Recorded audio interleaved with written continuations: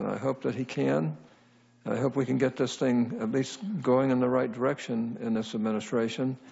And if it does, I have a feeling you're going to be one of the reasons it does.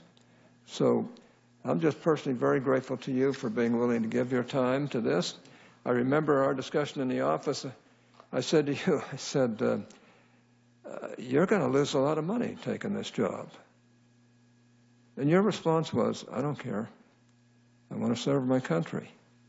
And you are going to lose a lot of money. When you had to sell off all your assets and so forth, uh, you've, uh, you've made tremendous sacrifices to take this job.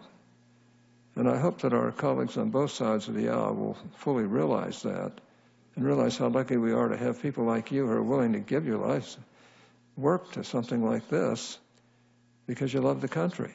You're hoping that we can pull this country out of the not only the fiscal and financial mess that we're in, but uh, out of some other messes that literally exist that we really have to change.